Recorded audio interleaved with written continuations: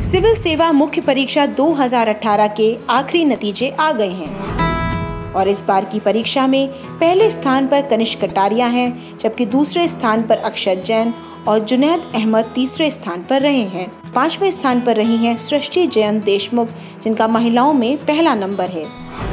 जारी हुई लिस्ट के मुताबिक कुल सात सौ उनसठ छात्र सफल घोषित किए गए हैं। जिसमें सामान्य वर्ग से तीन सौ इकसठ छात्र ओबीसी वर्ग से 209, एससी वर्ग से 128 और एसटी वर्ग से इकसठ छात्र शामिल हैं।